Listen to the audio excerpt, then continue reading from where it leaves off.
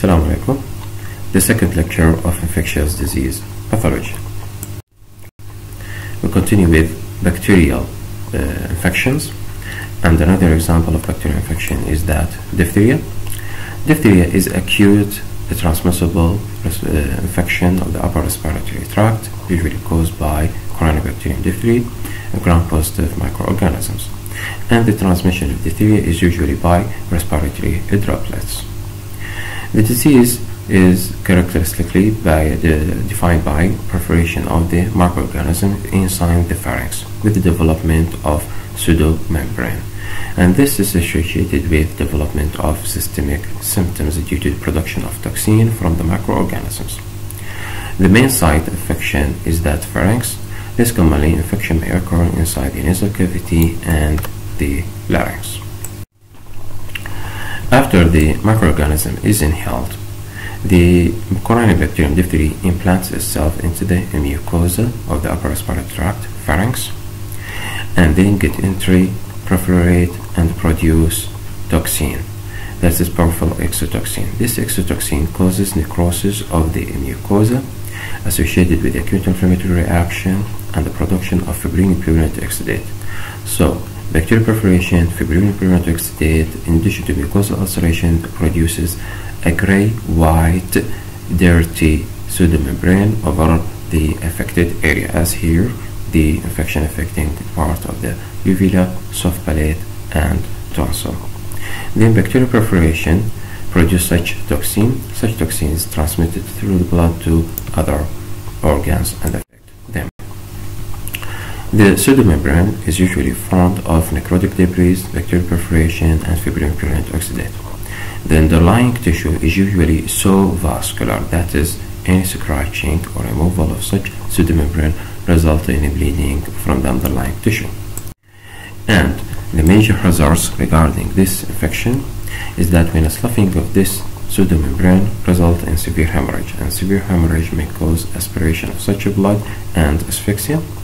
Second is that local proliferation of bacteria at the pharynx produce exotoxin and such exotoxin affect many organs, usually in the heart, producing fatty change in the heart and producing myofibril necrosis, and also the effect of neurons and nerves, producing polyneuritis and degeneration of the myelin covering of the nerves. Regarding the chronic bacterial infection, an example of this is tuberculosis. Tuberculosis representing a major health problem and chronic infection around the world.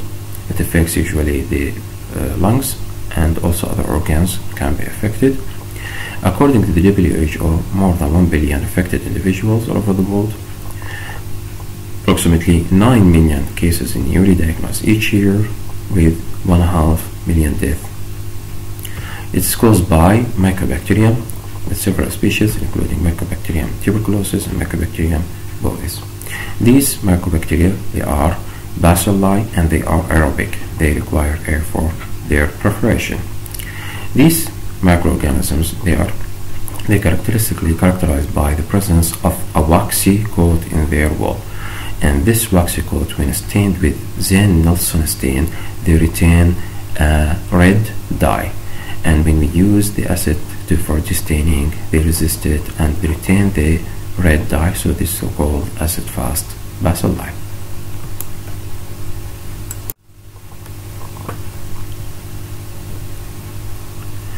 This is an example of uh, macrophages, multiple macrophages, engulf in their cytoplasm many red bacilli representing the Mycobacterium bacilli. The transmission of tuberculosis. Here we talk about the possible routes of entry. In case of respiratory tract tuberculosis, the route of entry usually by inhalation of droplets carrying Mycobacterium tuberculosis microorganisms or in the alimentary tract, usually an infection is caused by drinking contaminated milk with Mycobacterium bovis. Regarding Mycobacterium avium and Mycobacterium intracellular, these usually causes infection in immunosuppressed people. The tissue reaction of how the disease causes damage, how the TB bacilli cause damage. The TB bacilli by itself produce no toxins or no enzymes like other bacteria as in Staph aureus. But the main damage produced in TB bacilli is by human reaction to these bacilli, which is usually type 4 hypersensitivity reaction with formation of granuloma. The details of the process of the granuloma. So, microscopically, the bacteria, the granuloma is formed of a central caseous necrosis area followed by a rim of epithelial macrophages which sometimes unify to form Langerhans giant cells and then we have an outer rim of uh, T lymphocytes, activated T lymphocytes. When fibro, when this such a granuloma becomes chronic disease or takes long period of time, it is usually surrounded by fibrosis. This is sometimes called also tubercle. The healing of such tubercle is usually by uh, progressive fibrosis and uh, sometimes the microorganism may remain uh, dormant inside such lesions to be activated when there is suppression of the immunity. So the microorganism, the granuloma is formed of peripheral rim, the granuloma is formed of peripheral rim of fibrous tissue, inner rim of activated T cells, then epithelial cells, including Langerhans multinucleated giant cells, and a central area of caseous necrosis. This is a photograph of granuloma. Here, central eosinophilic homogeneous material, structureless material representing caseous necrosis material. Then a rim of epithelial macrophages and scattered Langerhans giant cells. This followed by rim, another rim of activated uh, T cells. This is high power view. Here we see this is caseous necrosis area, epithelial macrophage area, Langerhans giant cells, then a rim of lymphocytes and fibroblasts. Regarding the types of tuberculosis, we have uh, primary tuberculosis, secondary tuberculosis, and progressive tuberculosis, and miliary tuberculosis. The primary tuberculosis here, following exposure of the person to TB bacilli in non-immunized person, that is exposure for the first time uh, to TB bacilli. That is primary means exposure in non-immunized people that have no previous immunity against tuberculosis.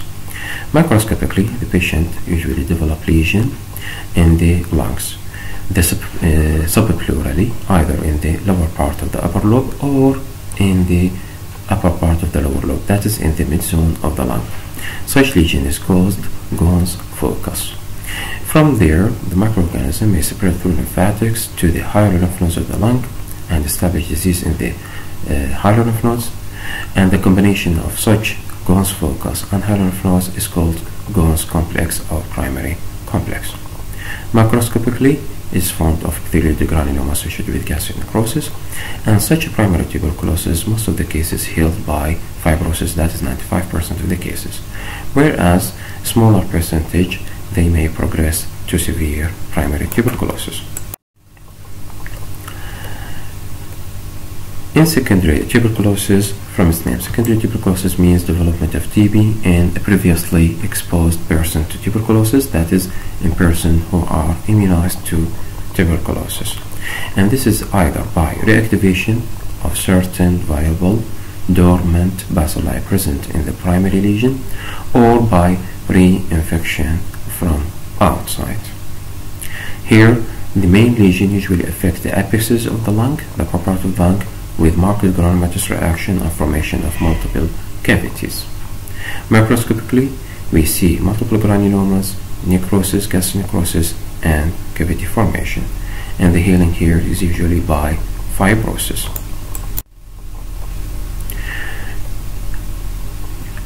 A progressive TB, progressive TB either from the primary or secondary TB, and the TB bacilli can be cuffed and uh, so enter the larynx, forming laryngeal TB, or swallowed through the GIT, producing the uh, intestinal tuberculosis, or they may enter the bronchial tree producing bronchial pneumonia, they may enter the pleural cavity producing pleural effusion, or they may break through the lymphatic channels or bloodstream and producing miliary tuberculosis or TB of certain organs such as TB in the kidney. Miliary tuberculosis we mediate by it, it because of its cross appearance is similar to milia. Milia takes name from millet. Millet يعني mean حبيبات الدخن means the affected organ usually develop multiple small yellow white foci nodules representing 2 millimeter in size.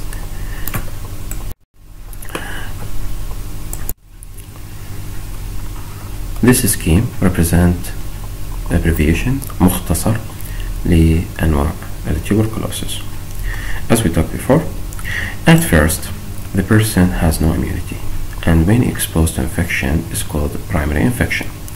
The infection is usually developed in the subpleural region, in the midzone, either in the lower part of the upper lobe or in the upper part of the lower lobe.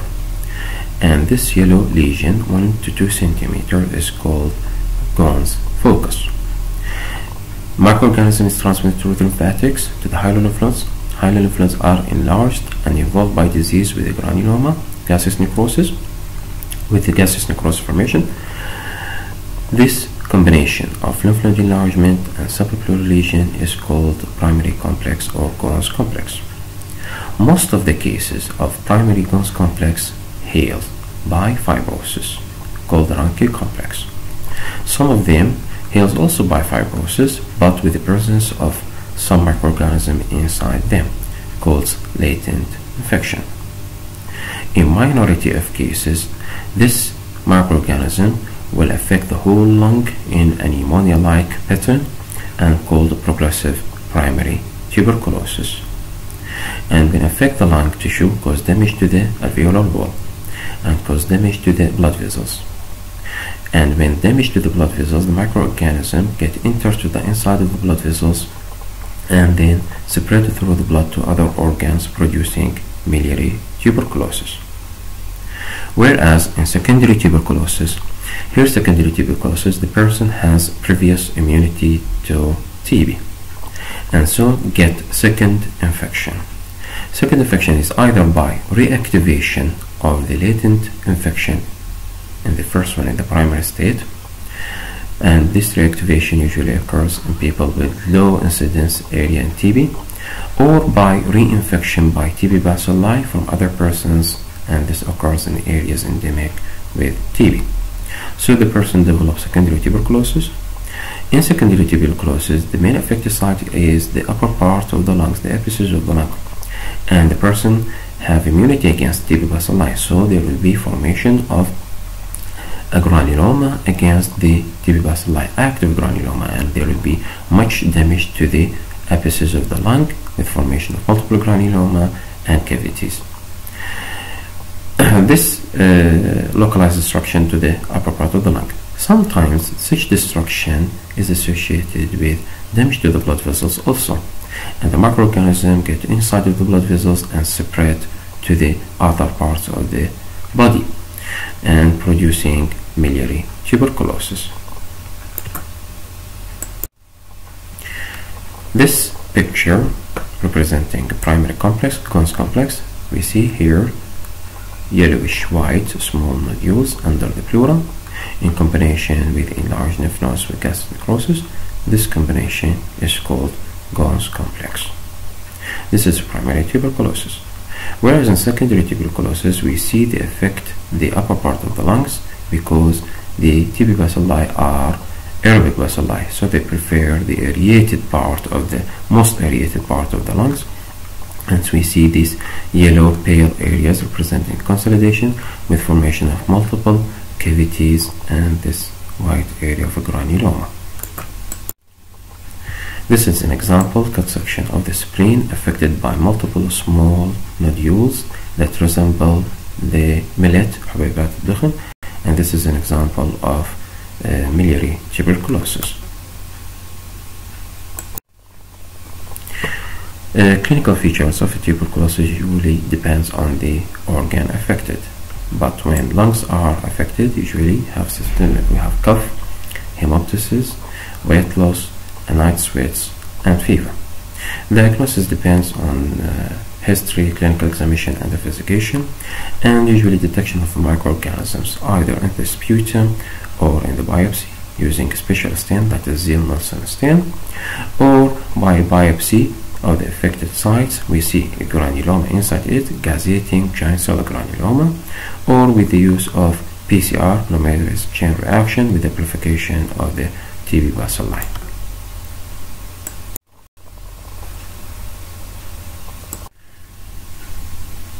Another example of disease caused by, by mycobacterial microorganism is leprosy, or also called Hansen's disease.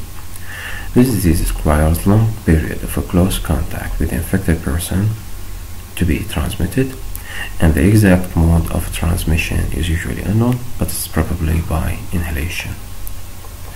Usually, it affects the skin and the peripheral nerves.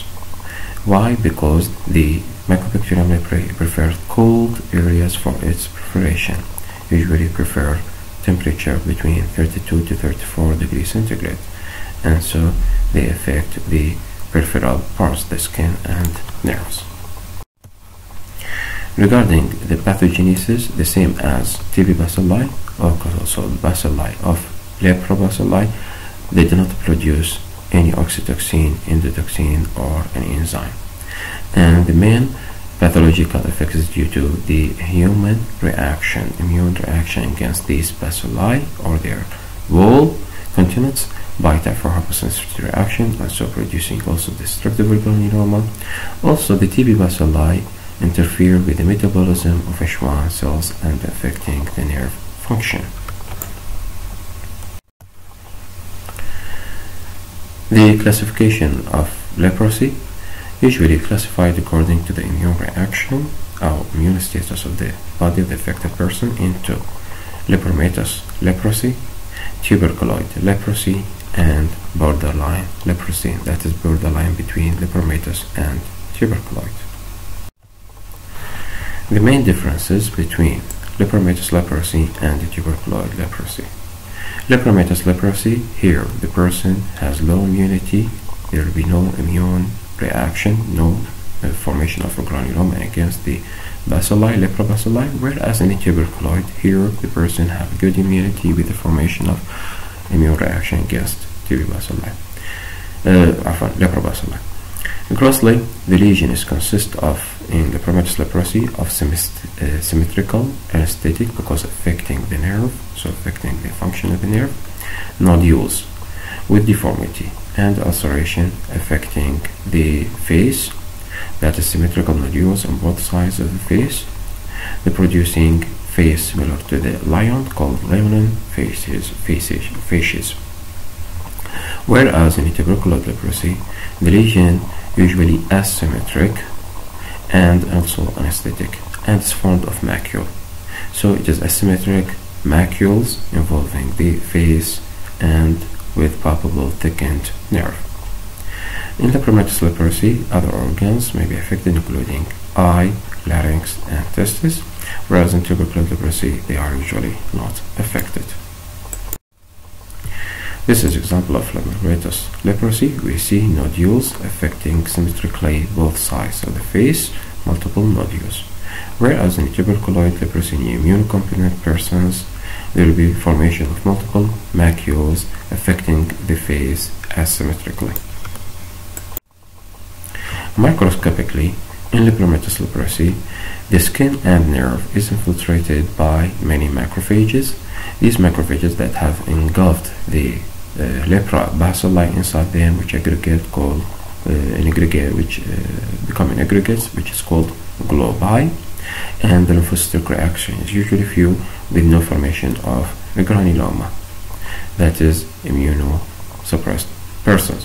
Whereas in, in tuberculosis leprosy, here there will be formation of well-formed giant cell granuloma with the presence of lymphocytes and the bacilli usually scanty in number because there is immune reaction against them. In borderline leprosy, the features between is uh, borderline that is of lepromatous leprosy and tuberculoid leprosy a mixture of those diagnosis of leprosy usually history, examination, and investigation. Investigation is by finding of lepra bacilli inside the macrophages using modified Ziehl-Neelsen stain. And thank you.